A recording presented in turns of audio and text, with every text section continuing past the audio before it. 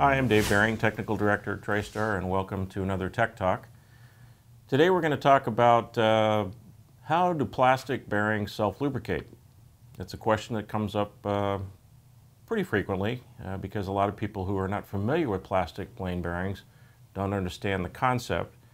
And uh, those are the people that we uh, are constantly battling with to not use lubrication because it defeats the purpose of a self-lubricating plastic. Uh, we'll talk a little bit more about that in a minute. There's two types of systems that are used um, that are, are recognized uh, as self-lubricating forms. Uh, the first one is called a smearing system. Smearing systems are the most efficient. Um, these are, are basically systems that utilize uh, lubricants that we're all familiar with, things like Teflon, PTFE, uh, graphite, moly, uh, different types of oils. Um, these are either in the form of the base polymer or they can be in the form of additives to other plastics. Smearing systems uh, function very efficiently because what you're doing is introducing microscopic particles uh, and the PTFEs are very, very uh, well known for doing this, but they'll actually generate a hydrodynamic film of PTFE and uh, we all know that PTFE is the most slippery material on the face of the planet, so it makes for a very good lubricant.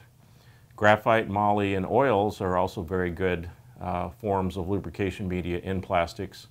Um, little different forms of efficiency, but uh, they're all very good in their place in particular types of polymers. The other type of system is a debris system. Um, these can uh, be a little bit less efficient in terms of how they deposit their lubrication, but uh, what they are essentially doing is breaking off little small particles of the polymer and in fact generating little ball bearings, if you will. Uh, what we're doing there is, is, is building this little uh, bed of particulate that becomes the self-lubricating media. Um, again, it tends to be a little less efficient, um, but the materials that are classified as debris systems are materials that are extremely durable. This would be things like cast nylons and UHMW and, and materials that are very tough and, and rugged. So let's talk a little bit about the PTFE type systems because that is predominant. Um, materials like Rulon, uh, Fluorosint, Ultraflon, uh, these are materials that are essentially PTFE first uh, with different additives. And those additives as we've talked about in other uh, tech talks, those additives are what give that PTFE its ability to resist cold flow, to enhance wear properties, to enhance electrical properties, and enhance thermal properties. All that comes into play. But the bottom line is the PTFE is the key component there and as the lubricant. Um, there's a lot of other forms of uh, that the PTFE lubrication comes in, and that can be in things like Delrin AF. Uh, Delrin AF is a, an acetal material that has PTFE added to it. So again, you have that, that component, which is the primary lubrication factor.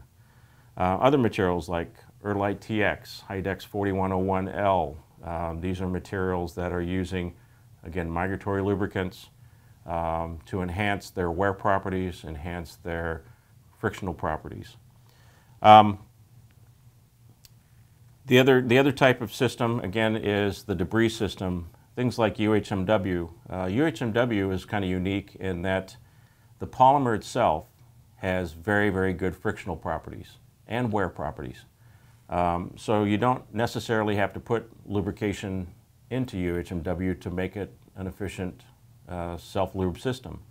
But there are UHMWs now that have additives like moly, uh, glass beads, uh, silicone oil, a lot of different additives that have been put in now to, again, enhance the performance of those materials.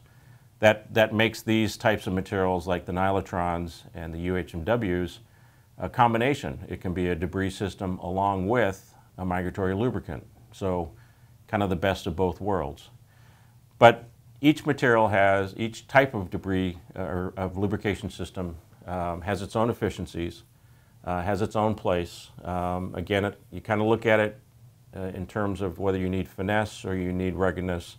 Um, either way, both systems are very well uh, received in the marketplace. Um, these materials do not require, nor do we like, to introduce lubrication because when you introduce lubrication to a plastic bearing, you're basically introducing a lapping compound because it doesn't take very long for that lube, whether it's a light oil or grease, to pick up debris, dirt, things like that, and that turns into a lapping compound and before you know it you've worn out that bearing and probably scored up the shaft pretty well too. So these materials are designed to be self-lubricating and that's what they need to be considered uh, primarily as.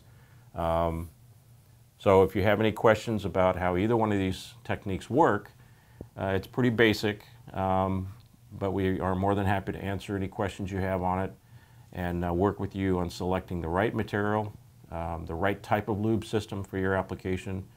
Uh, all the things that we've talked about in previous tech talks uh, when it comes to plain bearing design uh, also come into play here uh, when we talk about the types of lube systems we want to use. Um, you know, speeds, loads, temperatures, all of these things come into play. Um, so please feel free to give us a call at uh, TriStar Engineering or contact us through Ask the Expert on our website. Uh, we'll be happy to work with you on uh, product selection to be sure that the lube system that we're uh, suggesting is going to be the best one for your application. Thanks again for joining us, and we look forward to seeing you again.